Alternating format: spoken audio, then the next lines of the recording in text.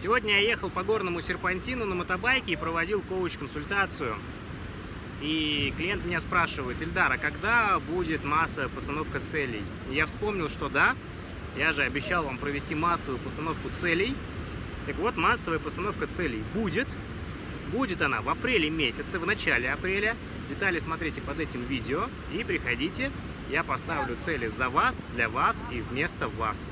Ну и передаю вам привет с острова Бали, с, одного из, с одной из его оконечностей, где я сейчас нахожусь. Здесь очень круто.